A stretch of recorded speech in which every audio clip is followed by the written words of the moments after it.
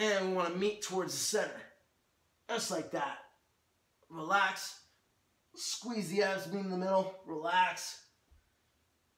Squeeze. Relax. Squeeze. This is a modification to the V-up. Okay, arms out like this, okay? Or out to our side, one leg straight, the other knee bent as we're going through. One. Alternate. Alternating. Alternating. Alternating, squeezing those abs. Just like that.